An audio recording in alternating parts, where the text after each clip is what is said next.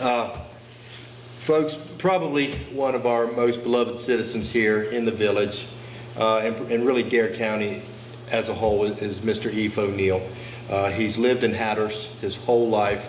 Uh, He knows so many people from eastern North Carolina, and a lot of people know of him. He's a stellar reputation. He's the kind of people, uh, home folks that we want our kids to emulate, that we want uh, generations coming after us to know that there are still uh, people like Mr. Eve and, and Miss Daisy uh, still in this community. And we're trying to preserve a little bit of that. Uh, tonight, if you have any questions or anything, it's just us.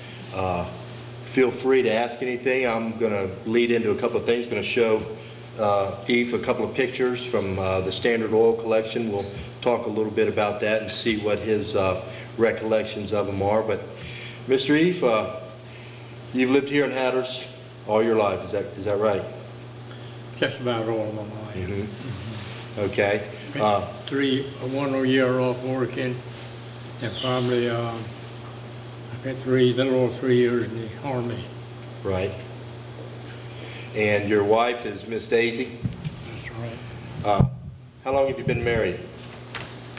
Sixty-three years this past August. 63 years. Don't ask me how we can live with one woman that long. the other way. She used to think she owned me, now she knows she does. Well, Mr. Eve, how old are you? Para Oh, yeah? eighty-eight, 88. Good gracious. eighty-eight, this past January. Uh, how many children do you do you have, you and Miss Daisy? Three, Three. uh, one boy and two girls. Uh, grandchildren? Grandchildren? Have you got grandchildren? Got, um, eight grandchildren. How to count them? Eight grandchildren, one great-grandchildren, I think. Might be another one on the way.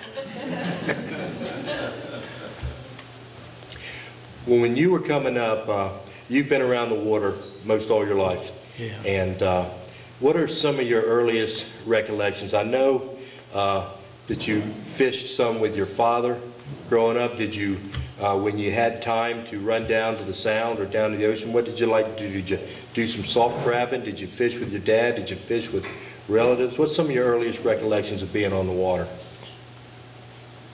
Be- Being on the water, if you like it, is a pleasure. But um, it's beyond anyone's imagination what this island was like when I grew up and what it's like now. It's like going from a lighted room to a dark room.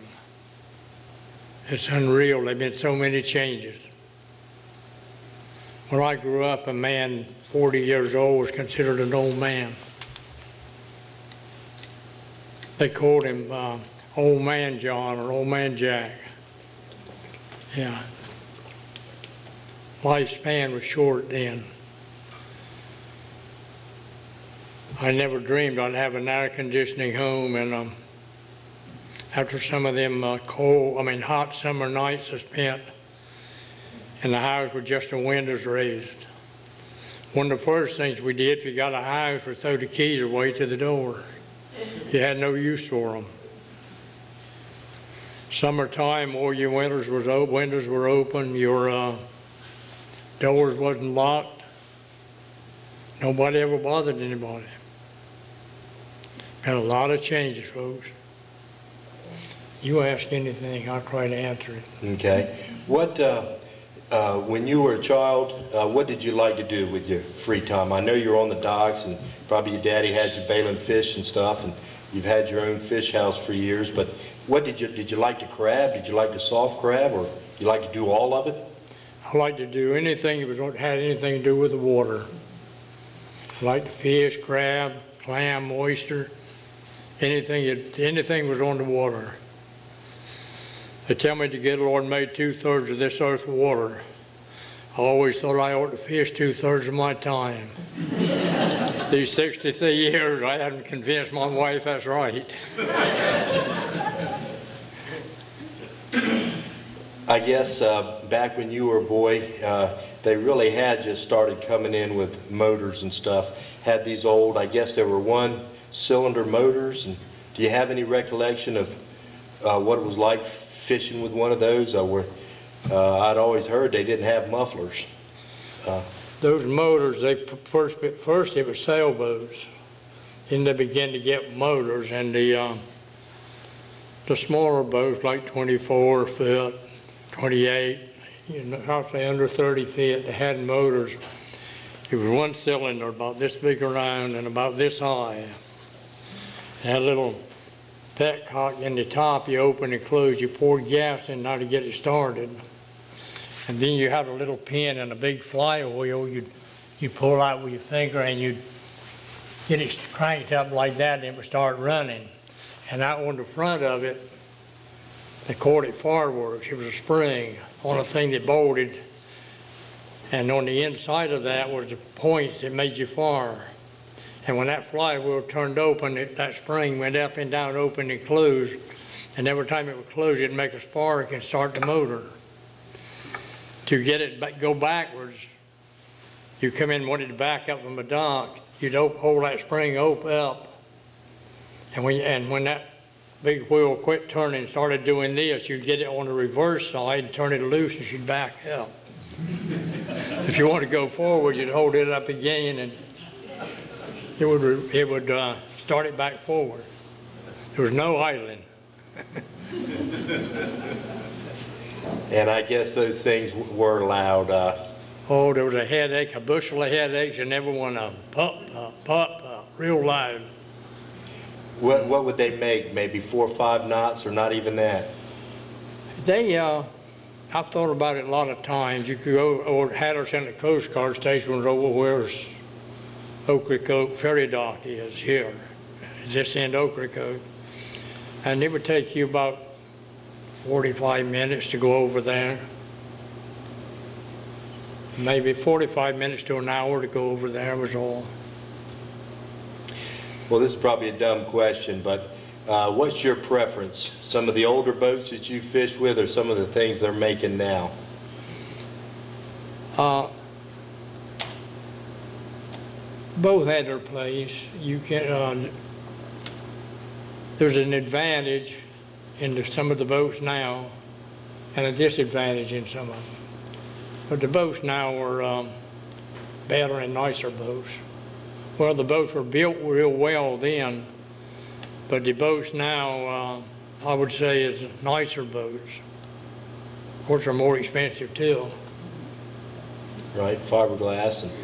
And uh, Back when you were coming up, you pretty much had to be a jack of of all trades. Uh, I heard you explain uh, a little bit about the motor, but I guess you had to know a little bit about carburetors, you had to know a little bit about, uh, you know, engines in general, but, you know, I guess back when when you were young and coming up and everything, you couldn't just send something off the island to be fixed. You had to pretty much do it yourself To do what? uh, working on your boats or your cars or anything back, uh, you know, back when you were younger and stuff, back before World War II and stuff, I guess you had to know a little bit about everything. If the refrigerator conked out, uh, most of the men around here could- were pretty much jacks of all trades, weren't they? Uh, Yeah, there've been so much change and things like that, and the way we lived. The first Frigidaire I ever saw, and uh, this ain't funny, this is real. My grandfather put a little post out in the yard. He put a little deck on it, and he built a little house over it. And he put, uh, we called it mosquito netting with little mice that you kept putting around your windows to keep the mosquitoes out. And put a door on it. If we had boiled beans at summertime, they put them in, out in that little house where the air drove through there and the, um, the netting kept the flies and bugs out. That was the first freezer there I ever saw.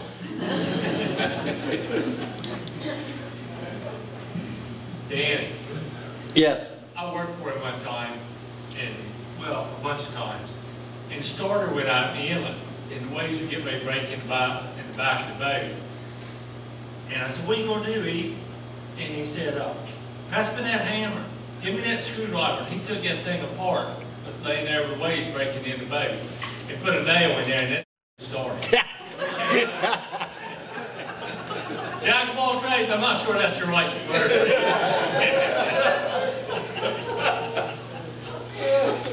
Well, I I guess now that we've got paved roads and stuff, uh, did that really change the makeup of the island? When, when you were coming up, uh, did you pretty much walk down sand paths that were there where the roads are now, or was things a lot different about getting around in the village?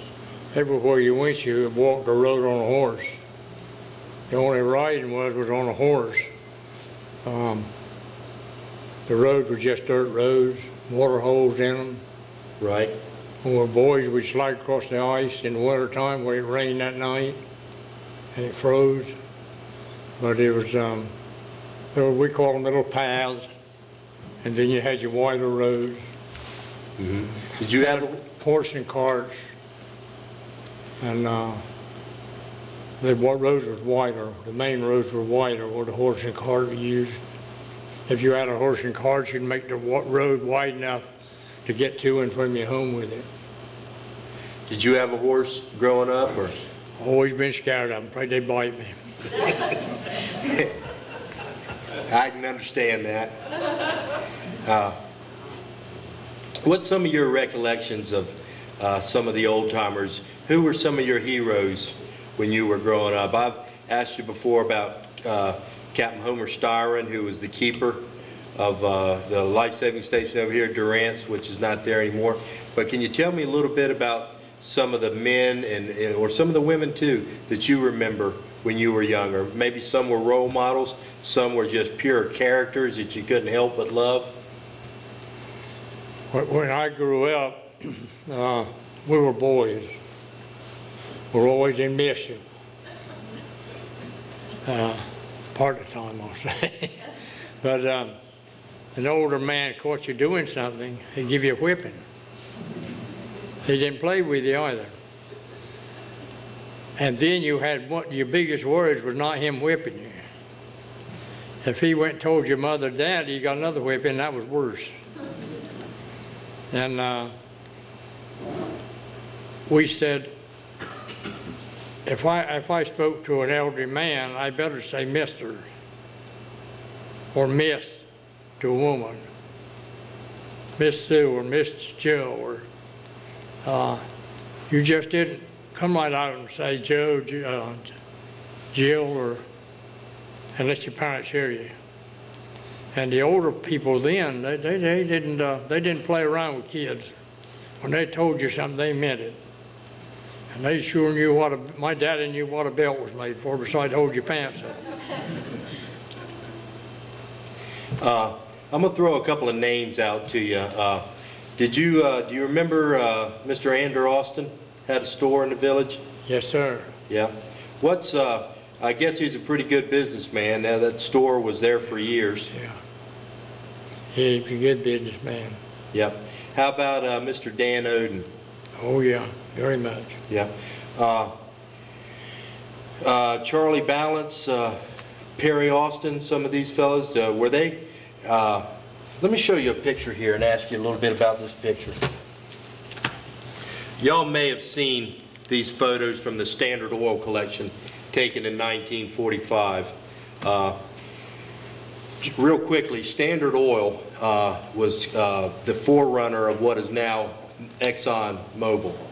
And in 1939, I believe it was, uh, Standard Oil had sold our rubber rights in Indonesia to the Japanese.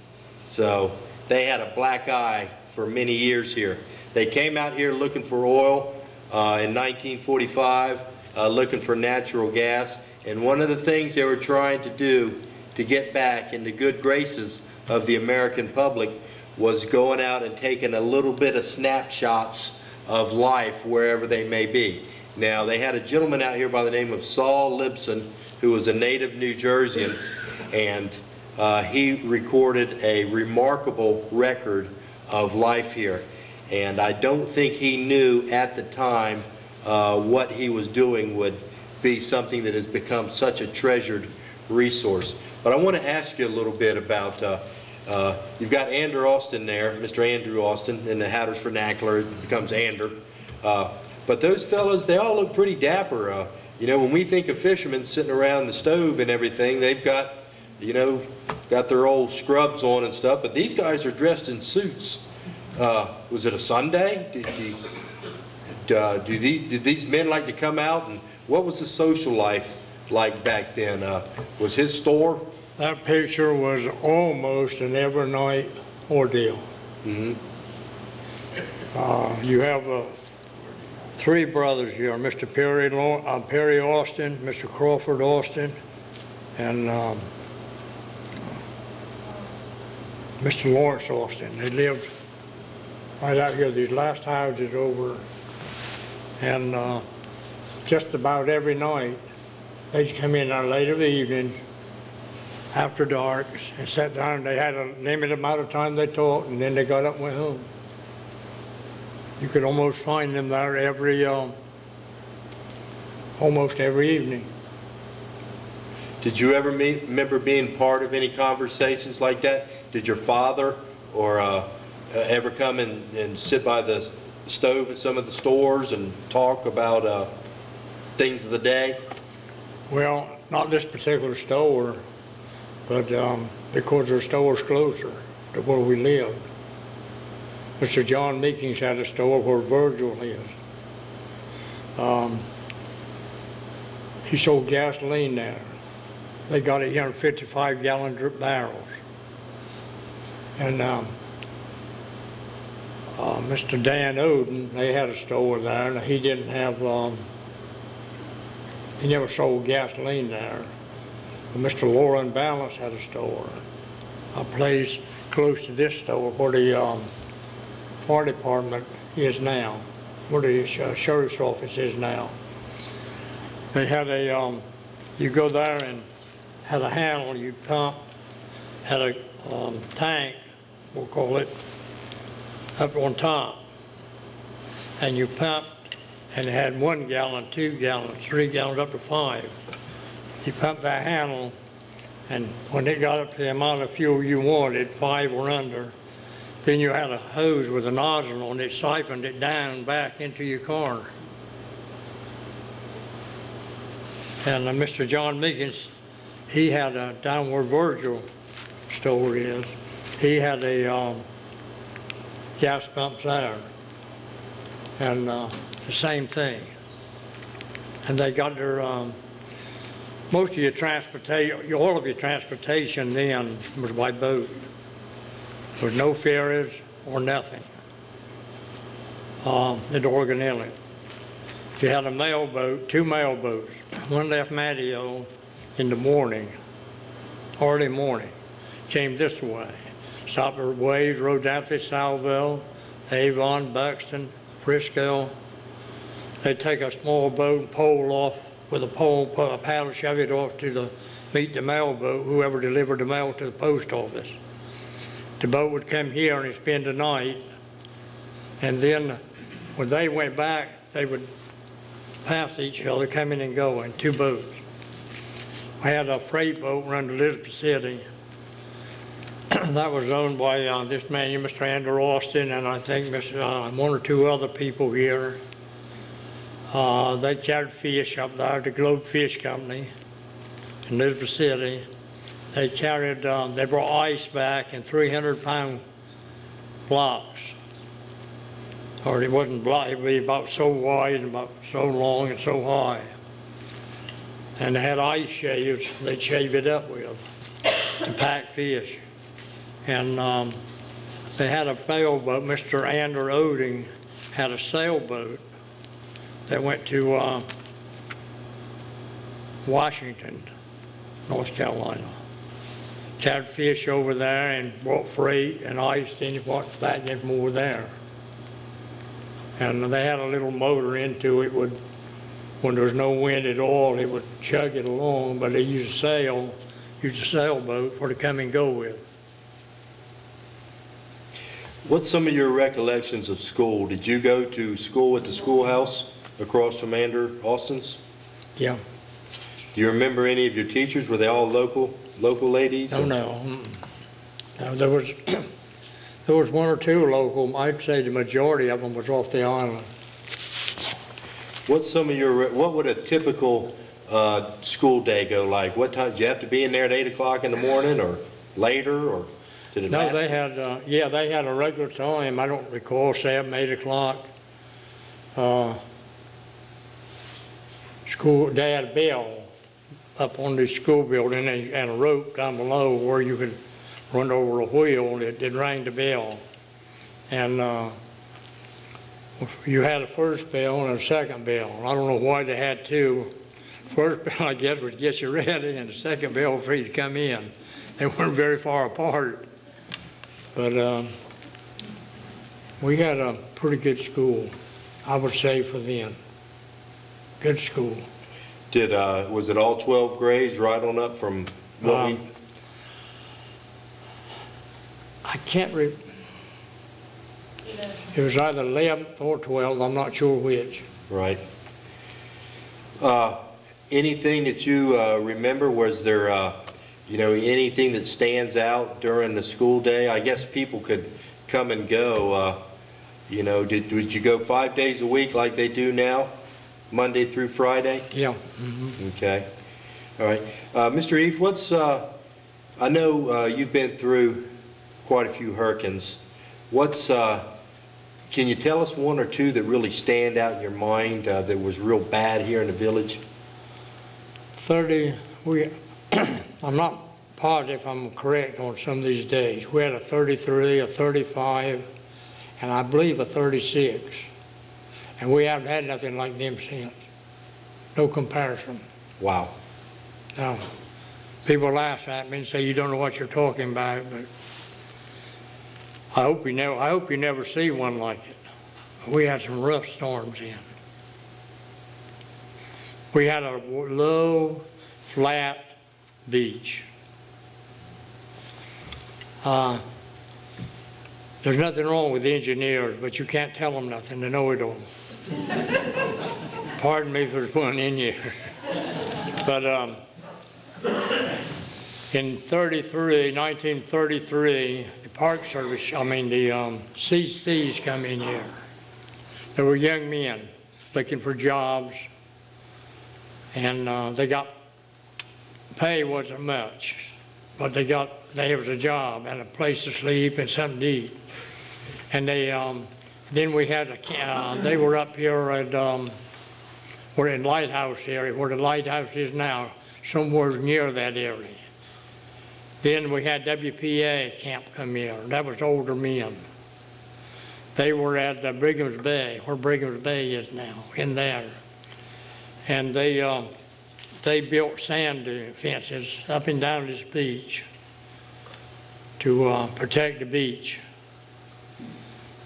to keep the waves back. Um,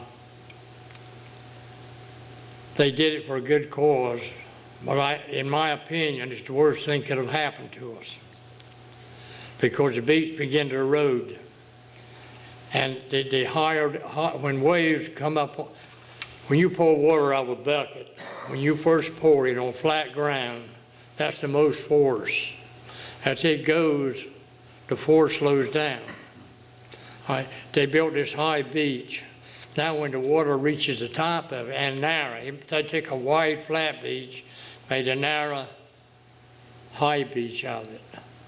And when this water comes to the top of this beach now, and as it comes over, it comes down, the farther it goes, the faster it goes.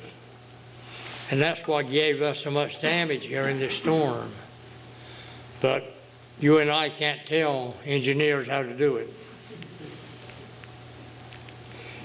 You know, I, I see, uh, just from a a layman's terms, but, you know, at first blush, it would seem that what you're saying is, uh, is correct, because when that water comes in, you're talking about a huge flat, but that water, or that beach has a chance to displace Yeah. all that water. It's such a magnitude of water coming in, that it has places to go. But when we went through what we went through here at Isabel, uh, you've got a point there. I mean, water came busting through there at the uh, breach, and it was all funneled right in there. And once it got beyond that, uh, caused us a lot of problems. Yeah, um, the shoreline's been built up, bulkheads and what have you. So you've got like a gutter. The water comes and it builds up in here until it breaks through and gets out, and then it goes down. After the, after the Isabel, my wife said, looked out the window and says, uh, the top water's coming up. She says, tide coming up. I said, no, not with a southeast wind. We never had water before with a southeast wind. Yeah, I never saw the ocean water to the uh, creek over here, slash we call it, but in my lifetime until Isabel. It would come over and uh, there's some water ditches, hole, I call them ditches, holes down the back. It would come over to that and go through. But the beach was so flat with the island, it came with a real slow, very slow, and most of it went into sand. But now it comes so fast, it don't have time to go into sand. Nature did its own engineering way back when. It had been that way for hundreds, even thousands of years. Yeah. But we've kind of been, you know, uh, for lack of a better word, tampering with things a little bit, I guess. Yeah. Way nature, I'll say something you might not want to hear, or, or- but, um, this Isabel wasn't nothing, what will happen, we have another hurricane. Because here, the beach was wider. It's from here, you go that way, the beach got wider, farther from the sand dunes. Now, that's all gone. We have another hurricane, you're gonna see all of this and a lot of this going. And I hate to think about it. You remember what I told you? I'll probably, I may I may be here and I may not. When, if we could get the federal government to come in here and put us about 300, about 200 yards, about 600 feet of slow, flat beach beyond these dunes, it would be good for 70, 80 years. When I was a boy, you'd go here, we boys go here, go to the beach swimming. You come to the edge of the grass and you had nothing but sand, probably three, four hundred feet. You'd have to run a little ways, you kick out a hole and put your feet into it, they'd be so hot. Let them cool off, and run a little farther to get to the ocean. And, and that was flat. And when, a, when that wave broke, the farther it come, the slower it come, the water. But this time, when it come over these dunes, high, high beach and over these high dunes, it come down with force.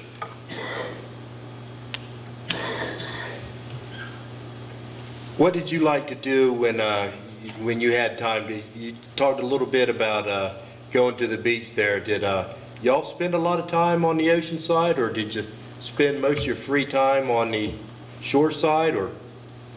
We boys were everywhere where we shouldn't be. And some of the ladies were helping us.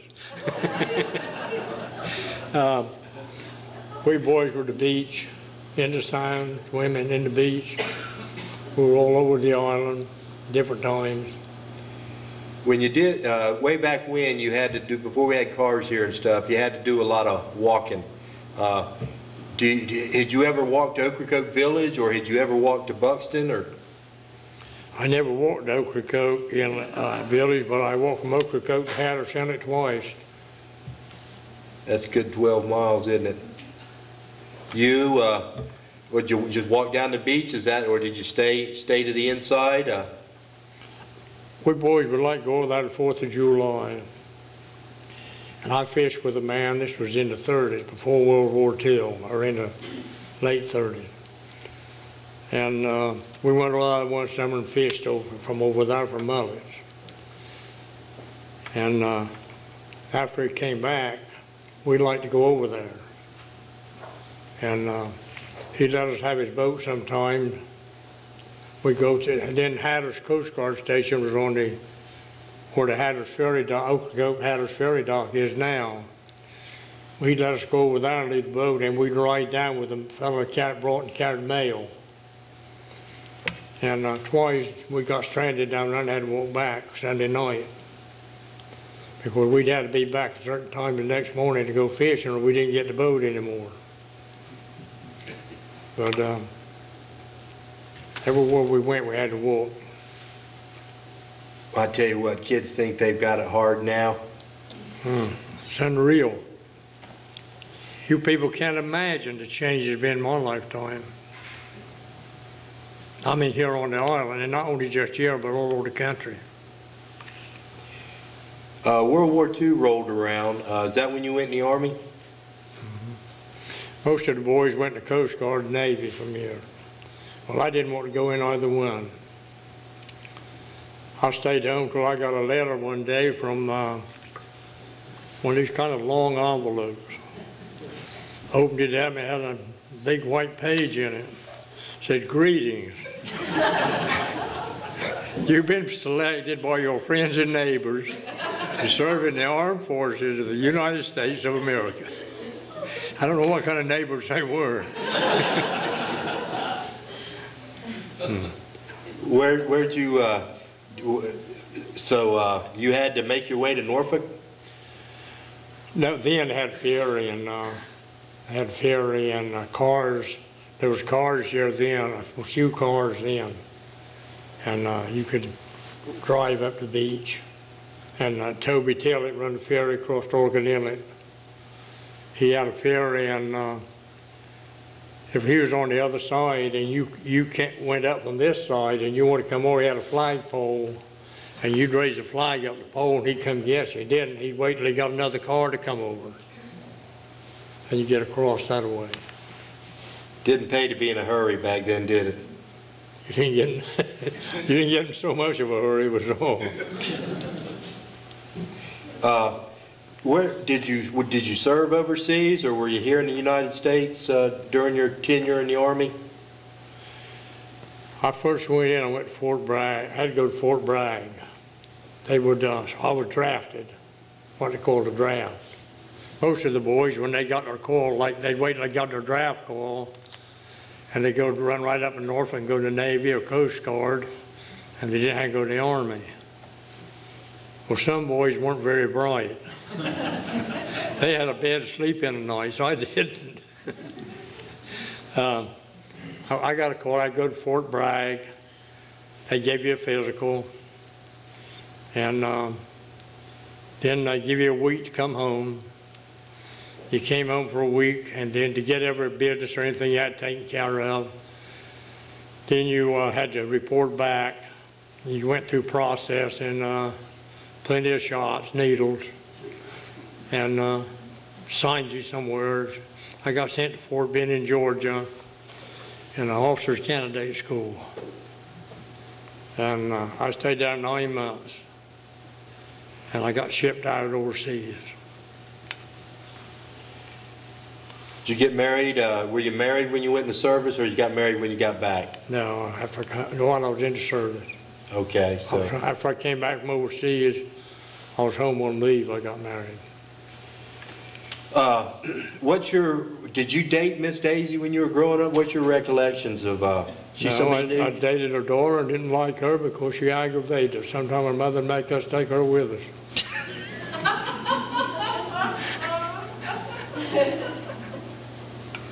We had a movie theater here then.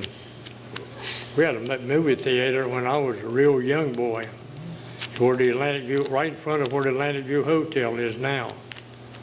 A good, I'd say a building probably, may not been quite as large as this, but almost.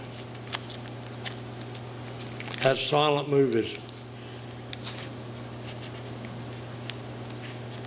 Can you, uh, was, it was it usually a pretty good crowd in there? Hmm?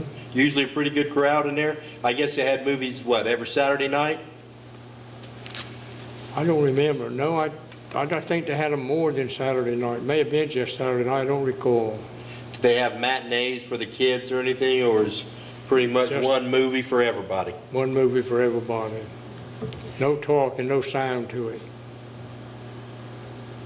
Then later years, Shank Austin, Mr. Randall Austin, the man that owned the store here, he, um, his boy in Shankhurst, and he built a theater there um, between uh, the Methodist parsonage going into village here. As you pass the Methodist parsonage, right back in there. And that was, uh, I would, that wasn't silent movies. I know you've seen a lot of changes in, in fishing, and uh, I know that some of it has to aggravate you, but, uh, and it's not a loaded question or anything, but, you know, can you just give us a little bit of insight into, you know, what's happened to fishing? Uh, Some of it could be good, but I think based on probably most people's recollections or experience, not all the changes that we've got here in fishing have been good. Uh, Fishing, when I grew up, you went fishing. You caught fish any way you could, whatever way you could. There was no regulations whatsoever. We had plenty of fish. Um, And we had, this is not going to sound right, and some of you probably will oppose me on this, but we all, uh, we all have opinion of our own. We had, uh, season, we had years, we had plenty of trout. Years, we might not have no trout, plenty of croakers or bluefish or other fish. Another year, in 19 and 32, 35, I think all the large bluefish in the world came here. They were in the beach, people go out with rakes and catch them when they run up in the wash. They were so thick. The sign was full of them.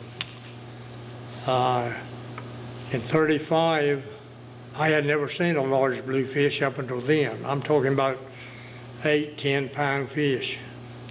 Um, In 35, there were just a very few caught in the ocean. There wasn't any more till the 80s. I never saw another large bluefish until the 80s. Uh, They come and went. And it all seems to go through cycles. We had plenty of fish until the marine fishery got involved. Uh, There's, there's only one thing wrong with the marine fishery. It's not governed by the marine fishery. I'm gonna give you my opinion. It's dictated to by other groups. And there's not a person, on- they tell me how many fish is out here in the ocean, how many is in the sound. There's not a living person can tell me how many fish is in the harbor here now. Not a person on earth. But they're telling me how many is way out there in the Gulf Stream and how many is in the sound and putting regulations. If it hadn't been for commercial fishing, there'd been no people living in the Hatteras years back. Because another, the, uh, my grandfather was a carpenter most of, most of his life. When he died at 84 years old, he had built or helped build over 75% of the homes here on Hatteras, some in Buxton, Avon, the churches, and other buildings. But um, nobody, nobody, it seemed like when they start restricting fish, the fish went. I've seen striped bass three times in my lifetime, a lot of them. The rest of the time, I didn't see any. Uh, This, I forget the first time, when I went into service, the fishermen would bring striped bass and you'd pile them up in the fish house floors. When I came home, I never saw a striped bass. Dennis Robinson and Roy Gray, myself, started fishing on the beach haul seining in the winter time. We fished about eight, seven or eight years before we ever saw a striped bass. And it began more and more and more. And it reached a high peak, and then in a couple of years, it was all gone. There wasn't any for several years more, back in the 80s. Now they're going again. They were, the, the, the commercial fishermen were deprived of the, of their income, but not letting them have them when they're here. And now nobody's got them and they're gone.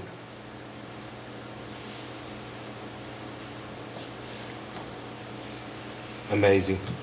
Uh, You had told me a story, or I forget where I was, but uh, uh, you were down to Morehead, and uh, you've always taken a- an active role in representing the fishermen here, and for that, we're grateful, Mr. Eve. But uh, I know sometimes you run into a little lighter side, and I've heard you tell the story of uh, y'all were down there, things had not gone very well with a meeting with fisheries, and you and some of the other gentlemen uh, asked there at the motel where there was a place to eat. And they told you of a restaurant down the street, and you told me that you went there, and uh, you weren't in the best mood, but can you, Who told you that story? well, Has Spurgeon been talking to you? Spurgeon. we're gonna get Spurgeon up here one day, his time's coming. What we say? Can you t- tell me about your trip to the sanitary fish market there? You told me you'd been drinking tea all evening and needed to go to the bathroom. There was about uh, eight or 10 of us down there on a business trip. We asked the people at the motel, where the hotel where we were staying, where was a good place to eat, and they told us. So we all go there, and they put us in a little room, big enough for us, but nice table. The waitress serves us our tea, summertime, hot weather, serves us our cold iced tea, and we're kind of slow getting our dinner out. So uh, we kept sitting out drinking tea and drinking tea, so I said, saying, well, I gotta go to the bathroom. But I hated to go, I kept out, and finally I said, I just got to go. So I, there's a little booth up here, and the lady sitting there, the cashier. I walk over to her very politely and ask her where the boy, little boy's room was at. She said, right down this hallway. Well, he was probably, um, four foot wide, and I'm going down in a different room. they're looking different things in different rooms over the top of the door, and I come to three chairs. Well, there's just enough room for one person to go by. And I looked and I saw a fellow coming toward me. I did feel stupid. I motioned for him, I stepped back and motioned for him to come on. He motioned for me to come on and he stepped back. Well, he didn't come, so I had to go. I step out and motion again for him to come on. Well, he, he did the same thing to me. And when I stepped back, I said, I'm going. So here I go. And here he comes. And just before we met, it was nothing but a big mirror. The whole end of that wall, I was looking at myself and thought it was somebody.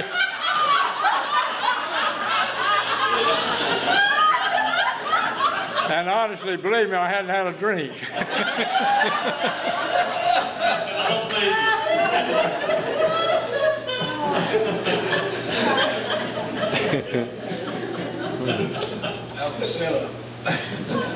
Ask me some more about the Army before you. Okay, uh, I want to, can you tell us a little bit more about the Army, uh, about your experiences there? uh, Anything you remember? Yeah, I, I was sent, they, they put me on a, um, we went to Patrick Henry, Virginia, if you know where that is. They sent us out from, I got, I got sent from, um, they did away with the school in Fort Bend and it sent me to, a group of us, some to the Pacific and some to the Atlantic. They sent us to, uh, Fort Jackson, South Carolina, then to Patrick Henry a shipping departure depot. We were 18 days getting to, uh, but when we went by Hatteras that afternoon, I could see Buxton Lighthouse. If they'd give me a life jacket, and say, if you think you can make it, go over the side, I believe I tried it. But um, we landed in um, Oran, Africa. Spent the night, was put on a Lima transport, and sent to uh, Naples, Italy. I don't think the Mediterranean Ocean ever got any rougher than it did for two days. They had us in the hold of the ship, it was a transport ship, had us in the hole of her, and uh, you took a pail, a wooden pail, had tables, you had hanging bunks, you just put them up, fold them up, and tables where you ate the days. One fellow would take a wooden pail and go to the galley and get the food for his table. They fed us stewed goats, stewed down to a mush. And I haven't wanted any goats before or since. That was terrible, but uh, they landed us in Naples, Italy. Well, they're taking our rifles away from us before we left. And I knew we were going to be a good while before we ever saw any fighting. Within myself, I thought that.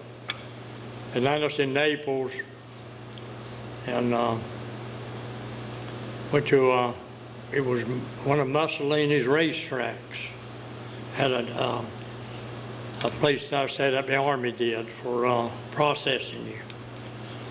Uh, they fed, they gave us, the the third night, they loaded us on a, not the same one, there were some of us, were one or two of us were the same boys. They loaded us on an army transport and sent us to, um, or LCI and sent us to, uh, uh, Beachhead. We stayed there, uh, two months in a 12 by, about a 12 by 15 mile area. And right in front of us was high mountains, and you could see the German trucks, vehicles driving, as- when the sun sometimes would flash on their, flash on their uh, windshields and stuff, windows, when the sun was in the right direction. We stayed there, um, this boy stayed there three months. I believe there was more men lost there than any one place during World War II. There was more lost on Normandy in one day. By the time we stayed there, I've read where there was more soldiers lost their life there than any place in World War II. We stayed there uh, three months before they pushed out and went into uh, Naples and went on. But uh, I got sent back to hospital while I was there. I stayed there about a month and a half. Just before they left, I got sent back to Naples to Hospital. Then I got shipped back in home from there. And I'll tell something I've never told before. Uh, I was awarded a Bronze Star.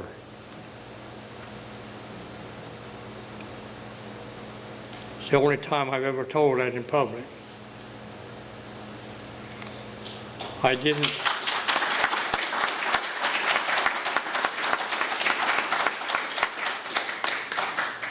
it wasn't something I did other than to try to survive.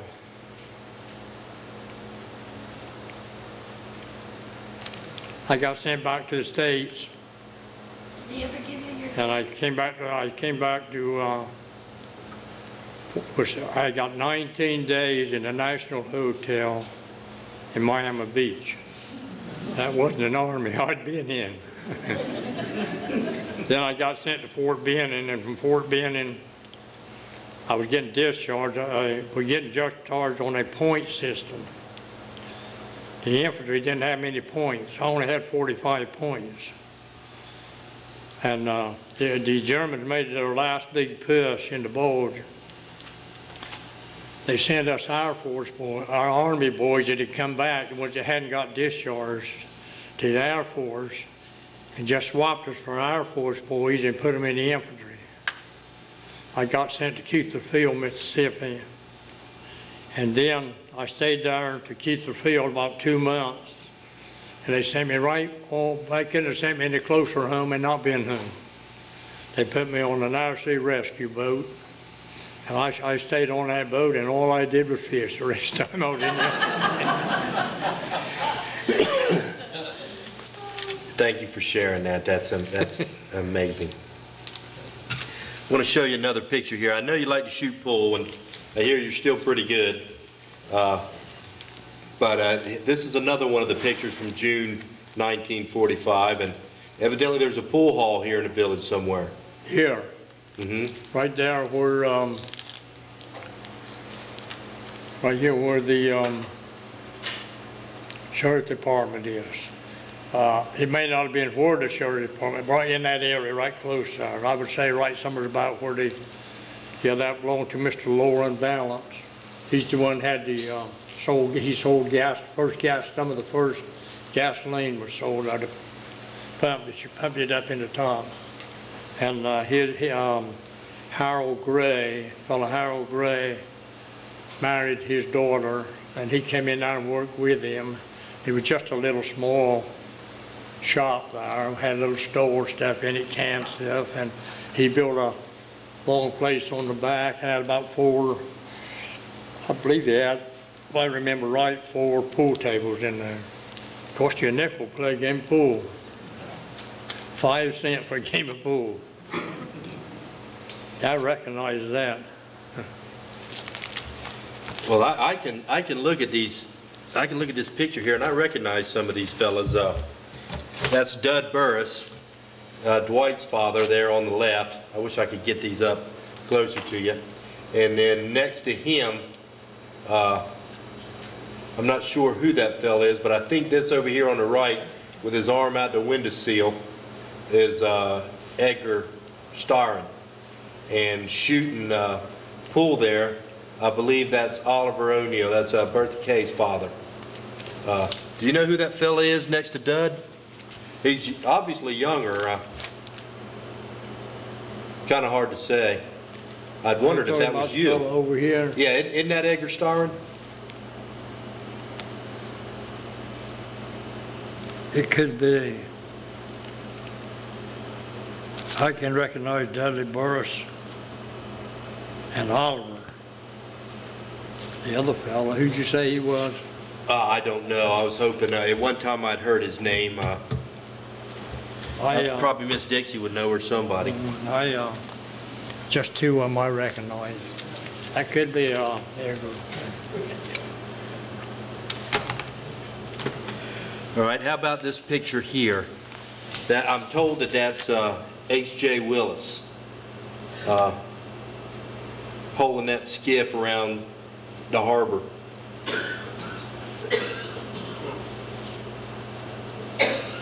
I, I couldn't recognize Okay. him. I can res- recognize the rest of the picture, but, uh, Well, that's I've- where, that's I've where your seen fish that. house was, wasn't it? uh, What, what your fish house, just about right there, or fish house is now? yeah, in that, in that, uh, small boat, I, I, uh, I can't recognize them. I've been told that's who it was. Right. Do you remember when the uh, fish houses were offshore, off uh, Sheep Island out here, out beyond the breakwater? Oh, yeah, Mr. John Meekins had the store where Virgil is. He had a walkway. It was probably four foot wide. It went from that store over to the sign, right on out, all the way out to fish, to his fish house. And grocers, all the grocers came on the boats that I was speaking about going to Elizabeth City and Washington. They'd pull into the fish house and they'd unload uh, his uh, groceries and stuff, and he'd take a, pull a hand cart out there and, and pull it back with the groceries on it. Do you remember anything about the porpoise fishery? I know that was probably a little, well, I don't know, when you were a boy, it was probably still active. Uh, William Harris Rollinson, W.H. Rollinson, uh, uh, Jarvis Midgett, uh, Horton Austin, some of these guys. Do you, do you remember anything about the porpoise fishery we had here? I remember all the, all the uh, names, people. Um, I was right on the, getting old enough to know, remember things, and I wasn't quite, I remember they had, uh, they had a place down the road here, down the beach farther. They had a little camp there. They had their boat there and their net. And they'd, uh, they had a fella up the beach, uh, probably, uh, six, five or six hundred yards, seven more or less. Uh, had him a little place built out for him to set up in, and he had a flag. And when he saw porpoises coming down the beach, he'd wave his flag, and they'd get the boat ready for him. By the time the porpoises got there, they were ready to set net around them. They had one on the south side of them, the same thing. And uh, I can remember the little camp they had there. And I remember the older people talking about it after I got older, but I wasn't quite old enough for to uh, remember that. They had a factory on the, where the creek comes through the island where they keep the boats. Excuse me. They had a porpoise factory over there. I don't remember the factory, but I remember the tanks. I don't remember the building, but I remember the tanks. I wanted to uh, see if anybody had any questions or any uh, observations. Uh, Anybody? Uh, Jump in. Ms. Lynn? Thank you. Uh, Mr. Eve, you must think I'm close to your age because you insist that I call you Eve, not Mr. Eve, in the tradition. Uh, We're neighbors, and you have a great garden, and you have actually a farm next door. Did you all, did your family always have chickens and and vegetables? I'm a little hard hearing, I can't hear her. She's talking about uh, your garden that you had there. She's your neighbor. Did she, you had uh, chickens and y- your daddy and mom and daddy had a garden there? My grandfather liked to live out of his, my mother died when I was 12 years old. And uh, my father worked with the Army Corps of Engineers up in, uh, uh, mostly out of Philadelphia, on these uh, hopper dredges. And uh, he, they got 30 days a year off, and sometimes they get a little, he'd go out there and work two or three years, fishing be slow. Then fishing get good, he'd come back home, then he'd go back. And my mother died, and I had a brother, one brother, was all. And our grandparents lived about just a couple hundred, 300 feet from us, where we lived. And uh, my brother and I went and lived with our grandparents, and they raised us until, uh, we lived with them till I went into service. Was your grandfather from Ocracoke? No, my- that was my grandfather on my mother's side. He was from Hatteras here. He's the one that's a carpenter. They built the houses. And uh, my father was from Ocracoke. Anybody else? Bob, You ever do any hunting? when You were a kid. Did you ever do any hunting? Ever do any hunting? Hunting? Rifle? My wife would have had a better husband, I reckon, if I hadn't. Yes, sir. When I wasn't fishing, I was duck hunting in the wintertime. There was no law, no- well, they had a game warden here, but he didn't bother nobody. He just got a check. And we had it, we started when the first duck come and quit when the last one left. And uh, I've done a lot of deer hunting. I haven't for about maybe six years now. I haven't been uh, dove hunting, and uh, I mean deer hunting. I've been dove hunting, but I haven't been deer hunting. But I haven't done any duck hunting in about uh, five or six years. I've been Worcester twice, but I haven't done much. Did you ever eat any pipe and clover? Did you ever eat any of those shorebirds everybody's fussing about these days? He's over here, fell 11, pe- 11 uh, culture. Oh, yeah. whittled him out some bird decoys about this long. And then there was, was these, um, Coast Guard telephone line that come down here, they had the first telephones in here to the Coast Guard stations where there's plenty of copper wire and it was just the right size. You could put, put wood up in that tight in the wood and make it about this long and stick them down over here on the beach. And that, that would be in um, April, first part of May. You go down when the tide was low and get a flatty place and put about 15 and them birds out, he had him a canvas bag made, he hung over his shoulder to count them in. We'd go over there and we put them birds out and these red breast snipes and sea chickens we called them and, and willets and curlews. Man, man, that was good eating. I'm telling you. Was it as good as sea turtle? I'm sorry, I'm was a little hard as, Was it, Miss Dixie asked, was it as good as sea turtle? Sea turtles. I miss Thelma Gray. I had the marina, Village Marina. Miss Thelma Gray, Gwenny, Gwenny Gray, Gwenny, she worked for me, her daughter. Worked for me about 18 years. I'd get, uh, when I closed the marina, uh, the marina, I'd have uh, one or two coolers I'd leave on, I'd have little stuff into them, sometime bait and some, and some. I left one on for her, for to put turtle in. Hope we no turtle washers in here. She could make a pot of turtle hash, I'm telling you. It was unreal. I'd have, I'd, we, we used to call the, one of the legs a quarter, a quarter of a turtle. I'd put about 15 or 16 quarters in the fat freeze box, and every now and then, she'd, uh, or Gwen- she would, or Duane would tell me to bring a, get her some turtle, and she'd cook it. She'd bring me a big bowl full of it, and I'd eat more than I should, put it in the fridge, and I'd save for later, and in 15, 20 minutes, I was eating the rest. Did you ever remember, did you ever see any fox growing up? Uh, Is your collection, um, we're talking about all the foxes that are running around on the island causing some habitat issues. Did you ever remember seeing any of those when you were coming up? I've never seen a fox on Hatteras, on this side of the bridge, Oceanic Bridge. We had a lot of these, cl- this, um, this fellow Anna Ralston sold from the ferry dock to the inlet, that property, to, to, uh, some people up New York, uh, well-to-do people for a hunting club. And they brought pheasants here and turned them loose, and they got all over the island. I used to love to hunt them. I had me a dog I'd hunt them with. Don't you still commercial fish right now? Aren't you still commercial fishing even now? Do I? Yeah. Yeah. I fished all last summer for mullets and drums and what have you. Tell us how you oyster. How do you oyster?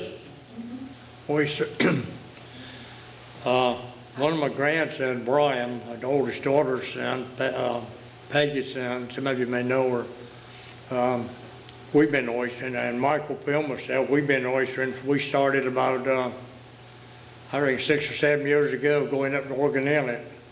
Up there, you could catch them with what they call a scrape, a little dry thing you drag behind, pulled behind the boat with a bag in it, orange frame, and, uh,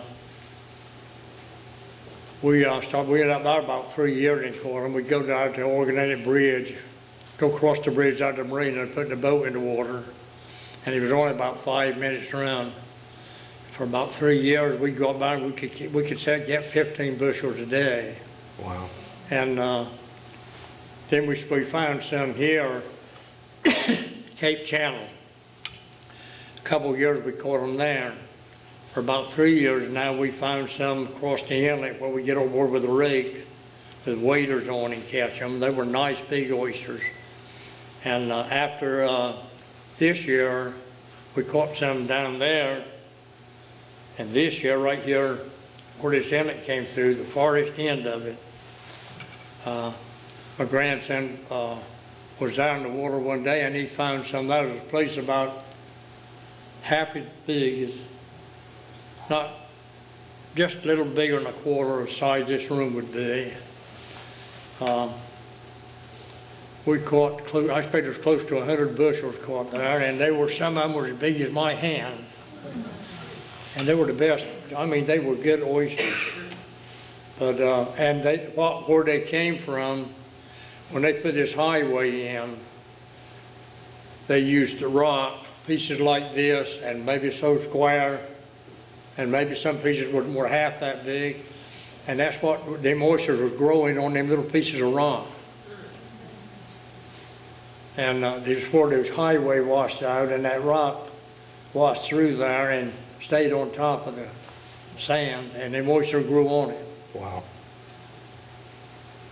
Did you see where the old bridge was after Isabel cut through up there? Did you see where the old bridge was, the 33 bridge, when uh, Isabel cut through? Did that bring back any memories? I you- remember that well, yes. Yeah. Yeah, yeah, I remember that well. By the time we got the bridge filled, fixed, the beach filled in, and they didn't have any problem, didn't need the bridge. I remember the bridges, going across the bridges up where New Inlet is, after people began to get cars here, up this side of Oregon Inlet. Well, they probably had, they probably had right many cars by the time you were old enough to remember. I, I always heard the first vehicles got here before World War One. My grandfather bought a new car. I think he paid five hundred dollars for it. It was a Whippet. I don't know if you ever heard of one or not. It had a rumble seat in it. It closed, opened up and closed. Man, that was something nice. That beat them horse and cars. Do you remember the lighthouse that was between here and Ocracoke? Do you remember the lighthouse that was between here and Ocracoke? Light tower? Do you remember a light? Light tower between here and Ocracoke. Or here in the inlet, was there, uh, There was a tower between um, here and the inlet. Uh, Part of it is down now, they take part of it down. But that, the Coast Guard had that there, uh, they put a man in it to watch boats around the inlet. They didn't have these radios and stuff then, in boats. And uh, if a boat got, it had problems there, sometimes they could see them. Or if you were in your boat and you had some problem out, your motor quit and you had to anchor, or you were drifting in the breakers or something, or drifting off, and uh, if you needed help, uh, you could wave something and then put something up, and I'd have binoculars to watch you with. That's what that tower was for. There's a uh, small part of it is still there now. anybody else? Do you remember anything about the, how electric power came to the island or how that got established? Do you remember anything about how electric power got the island or how it was established? Uh, Mr. Fraser Peel, do you know anything about the first Yeah, plant? Yeah, the, um, I was here before that was. Um, There's a gentleman here, came here from New Bern. Latham. Latham, Now, Tommy, Eaton. Thank you. It's Tom Eaton, that's right, Tom Eaton. Um, and it, he got in with Fraser Peel. Fraser Peel's house was right across from between the fishing stuff and the, um, and Sunny's Restaurant. Fraser Peel had a house there, and he lived in it. And, uh, Tom, this fellow, Tom Eaton, they, uh, got to be friends, and uh, Tom had money. What was money then? He came in here, he got interested in the island. I had a village here to Hatteras. He came in here and uh, him and Fraser got to be good friends, and uh, they got in business together. They built um, ice plant here. They uh, they made uh, 300 pound blocks of ice and they made a lot of it. It supplied the whole uh, Hatteras and Buxton or Trent or anybody that could come in here, wanted to come in here and want to get ice. They sold the ice. And um, they had a good, nice building down there, and they had a quite good sized metal building. Hadn't been too many years. You can remember that. Yep. Uh, Some of you people might remember it. And uh, they, he got the channels dredged, uh, the main channel, the freight boats went out, they had to go up, around the reef, and come back out and get the sound. They had to go about, um, oh, three or four, five miles up here, and maybe three, four miles, and then come back and out, get around the reef, where there's a ho- opening in the reef, deep water, where they could go through. And, uh, uh, they got a channel dug by the Corps of Army Engineers, right straight up from where the channel, main channel is now, where boats go out. And, uh, they bought fish there, and they run freight and stuff to Engelhard. Do you remember uh, Mr. Tom Angel? Yes, sir. He's What- the what- only man on earth ever knew how to make ice cream. What's some of your recollections of him? I've always heard that uh, he was just a, just a beautiful, beautiful person, beautiful soul. Um, He came, some people have said New Bern. I was told, the understanding I can recall, he came from uh, Washington, North Carolina. But um, he, um, uh, this angel part was the lady and her husband that got him here, brought him over here to do their work, housework, yard work, whatever they wanted him to do. Raised him from a small boy. And, uh, yeah, Mr. Angel, I can't think of his, don't recall his first name. Tom, He- oh, okay, Lou? Hmm. Wa- Was it Lou? Louis Angel, Louis, Louis, yeah. Okay, in any Yeah. event, He, sorry. uh, They were from New Bern. They, uh, he, um, he died first. Then his wife died. And when she died, she left the whole estate to Tom, the colored fellow. And at, at his death, he went to their heirs in New Bern. And, uh, when the Scottsville Gun Club came here, it had this property, that was the name of it, from uh, ferry dock to the inlet. They, uh, they, he could, he was a good cook. They got him, down- they, when they were here hunting or fishing or something, any of them, they'd get him down there to cook their meals for them. And, but before that, he built, um, just a deck off from the house and put a roof over it with no walls in it and built him a little house out to one end of it. And he made ice cream. And his old ice cream freezer, you crank it with to turn the, and he'd get us boys to turn the crank. We'd love to do that because he'd give us the backbone. We called it the backbone. The thing went down in the ice cream, he churned it. He'd give us that to eat the ice cream often. And he sold ice cream our Saturday nights. And people from all over Hatteras Village would walk down there and, and uh, go down and get ice cream at night. Had little tables set out there. You get a cup, a little plate, it's, I mean, a little plate light for a nickel. And for a dime, you got a little thing set up on little legs like this, little cup thing full. And that was good ice cream. They lost the pattern of ice cream when he died. Or maybe we were just boys and thought it was that good. His, uh, those heirs, when they had this doings up here to Buxton, I don't know, four, five, six years ago, lighthouse thing, after they moved the lighthouse, uh, my wife's, uh, grandfather was in the lighthouse service. And we were up to the doings up there, and, uh, coincident, I ran into some of the heirs of the, of that property down there. And I taken them down there and showed them where it was at, where the old house. If you could have seen that house now, it would be worth, Lord knows how many millions of dollars. I saw a picture of it.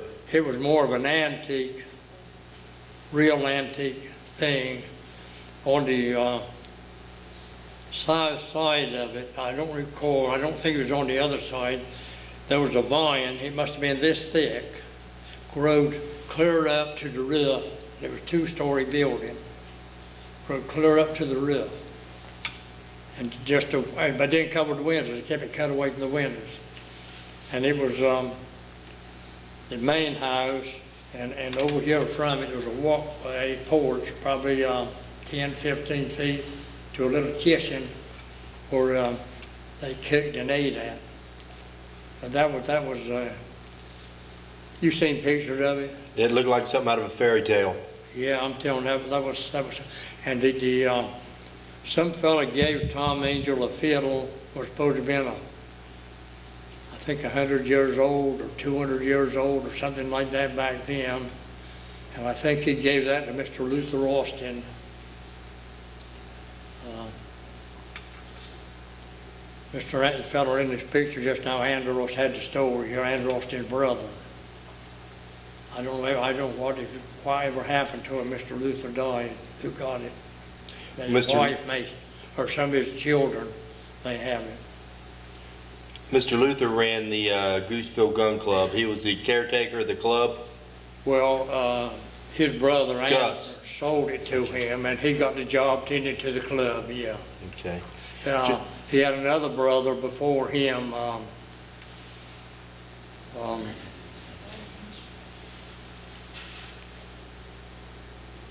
Ernest Austin. Okay, Um, You know Decatur Austin, right, um, uh, Bert Austin. yeah. They're- they're- Bert Austin and Decatur, their daddy, did it, tended to it first, and then he died, and Mr. Luther took care of it for him.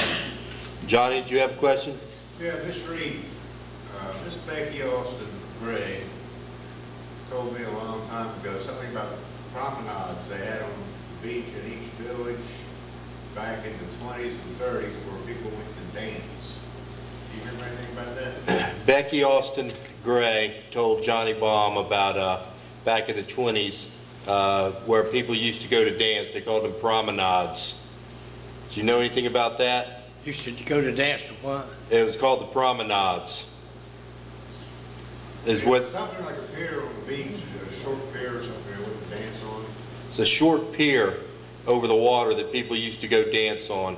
On the beach, no, not that I know of. Okay, it might, Um, the people then, I've known them, they, they had a, this Coast Guard station is still up here, right up between here and Frisco. Creed's The Hill. old building, it was a Coast Guard station, Creed's Hill they called it. Old Creed's Hill Coast Guard station was up back of Buxton Woods. I, I did know where it was at, I doubt if I could find it now, but, uh, when they closed that up there and moved down here to this building, they used to come and have square dances up there. People did. I can remember when I was a kid, going up there with my parents. They sat me on a seat and I'd sit there. any other questions? Eve, where was, where was Mr. uh, Tom Angel's house located at? Huh? Where was Tom Angel's house located here in the village? Tom Angel's house, where was it located? Um, Virgin, what's, what's the boy's name has a house there now? Charlie Barney, Huh? Charlie Barney, it's, it's, it was right behind my folks' house. Yeah, yeah. It's right back of where Ernie's father's house, right back of that, where Ernie's, Ernie's father's house. There's a house back there. It's not right where Tom's house was. I think it's closer toward Ernie's house. There's a graveyard in there, uh, where the, the original people owned that, uh, lived. The Angels, uh, I mean, the ones that had it, the father and, the- and his wife buried, and Tom was buried there. Was, uh, was the, uh, people that took him in, uh, was it Oliver? I think, uh, Oliver's Reefs out here was named after him. I think that Tom Angel's caretakers, people that adopted him were keepers of the Screw Pile Lighthouse. Yeah, I don't know, uh, I don't recall it anything about that, but my wife's uh, grandfather, he was in the Coast Guard. And I believe he was off there in this lighthouse one time. Uh, in them lighthouses, they had a house on top of that built there. It was up high above the water, probably eight foot, uh, you know, probably 10 foot above the water. But, uh, my wife's grandfather and her grandmother, when her, when my wife's mother was small, lived out there. Back in the I believe it's in the twenties, early twenties or summers, late nineteens or early twenties, we had a, uh, hard freeze year. And, uh, I don't remember saying who the people were was tending to it then. Somebody stayed into it all the time and lit the light for boats at night to see it. And, uh, they, um, they had this hard freeze and the sound froze over. And they took a, some of the men took a, three or four men took a small, real small boat that they could float, that they could big enough for them to get in, in case the ice, uh, broke, they broke through the ice. Ice wasn't hard enough to bear them, and they went clear to the lighthouse to see if they had food out there. They'd been frozen for several days. There's a lot of, folks, a lot of dead history here. Some of it will never be known, and what isn't learned pretty quick won't be known. There's about, there's three of us men folks living in this society, old enough to know some of that. Myself, um, Nancy Peel, Monroe Still, and myself. Nancy is, uh, about 15, 16 days older than I am. And I'm about, uh, about 20 days older than Mo- Monroe. And Miss, um, Kathleen, Miss Kathleen and, um, Miss Lucy? no, the older woman, Miss Margaret. And, um, one or two more ladies. And a lot of it, if somebody doesn't find, learn it, write it down, or learn it, it's all gonna be gone shortly. Or We're not gonna be here. I made eighty years, and I'm heading for eighty more, but I may not make it. What advice do you have for young Hatterasmen that want to live here and fish for the rest of their lives? What kind of advice would you give them? What do you, what kind of advice would you give young fishermen or young people who want to live here uh, the rest of their life, for generations coming up? fishing's over with here. Um, Every year, uh, don't take my word for it, but some of you may know it. Go and find out for yourself. Uh, The marine fishery, they tried to get a net ban here and didn't get it. It's Coastal Conservation Association and some of those groups. They tried to get a net ban here when they got one in Florida. Uh, I read in a magazine, out of Otis Dock one morning, after they got a net ban in Florida, in a sport fishing magazine stating, they said, we won in Florida. Our next target is North Carolina and the state of Washington. Um, they've got the fishermen into a vice like, and they're slowly tightening it. They, they, they try to get a net ban and the state senate stopped it. But they're slowly tightening that vice. They're coming out with some new regulations right now. Uh, Spurgeon knows a lot about them, the other boys at fishing. Um, You can go catch a hundred pound a group or, or a hundred fifty pound or something, but you've got to, um, that's all you can have. With the cost of fuel now, you'd have to catch that many to pay for your fuel. So they can't, they can't do that. And they're, they're stopping them on every, every angle. It's just a slow process. Stop me here, and stop, they stopped us on this rock when they had plenty of them, nobody could catch them and sell them. They put you on a limit, and uh, we had piles and piles of them. Now they're gone. They're just wasted resources. It's like all the people that wants to stop the pig farmers because there's an odor there. They don't slide that plate of ham away from them in morning.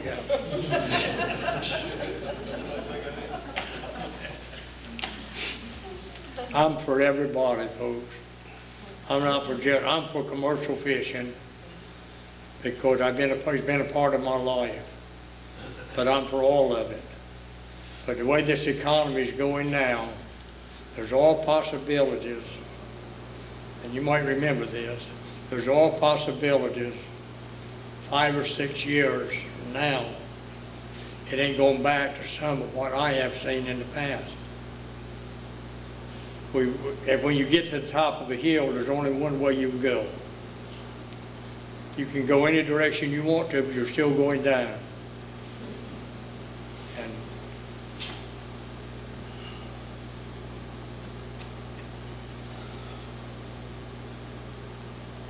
there's a lot of history here that can be, that can be got, but it's been every year a little of it lost. Ernie, I'm gonna ask you, what, what's the best fishing day you ever had? What's the best, best fishing day you ever had? I can tell you the worst I ever had.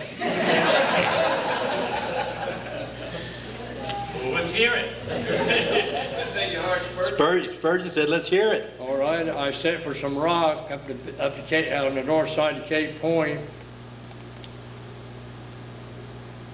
And I busted my net. I got forty-five, uh, four thousand pounds. And there's a net, there was, um, Mac Midgett back my net. He got about, uh, four, about four, uh, four hundred boxes. Forty thousand pounds a crew from New York was here that had a bag in their net. After Mac backed mine, they backed mine again. They got uh, eleven hundred boxes. That's a hundred pound per box. There were seven crews kept back in the nets. There were twenty-one hundred boxes caught, and I had forty of them, so that was one of my. My best day, I had seven, six hundred and seventy boxes. I had uh, seven hundred and sixty boxes of gray trout. Wow. I was in the eighties when I had a trout. That's a lot of, Took it off the beach with a front end loader and a dump truck. Ma'am? I said you took it off the beach with a front end loader and a dump truck. Yep. I had fourteen, tra- everybody come to the beach when I caught them trout. I had, uh, would, would, uh, bring a load of trout over for me. I paid fourteen different truckers for trucking trout. wow. That's a lot of fish sandwiches. Wild fish. Yeah. But Lord, there's a pile of trout, you know, I've never seen nothing like, they were about, they'd average two to three pounds. Some of them would go 12, 14 pounds. But where are they at now, we didn't catch them. Sounds like we did. How much did you get for them? How much did you get for them? What was the market price? I got 20 cent a pound for them. Wow, you got a new truck out of that, didn't That's the most I'd ever got for a feed trout. We'll get 20 cent a pound then. 20 cents a pound. That's amazing. I started fishing, we got three cent per pound, uh, trout, five cent for anything weighed three quarters of a pound or bigger. That wasn't much money. When, after I got married, if I made twenty dollars a week, I was getting along pretty good. Where have all of our crabs gone? And Where's all the crabs gone? just like everything else, dear, it goes through cycles. They'll come back, they go, and they come back. I, am gonna tell you something I believe. You got a kid down the floor, two kids playing. Uh, they got a whole bunch of toys. They start fighting over one. What do you do? You take that one, now when you learn to play like you ought to, you can have it back. I think there's somebody up above that controls these fish more than the marine fishery. And they might have to go to a low ebb. I think he's taking it away from them now, until they learn to play like they ought to. There's room for all of us, folks, if we'll just use it like we should.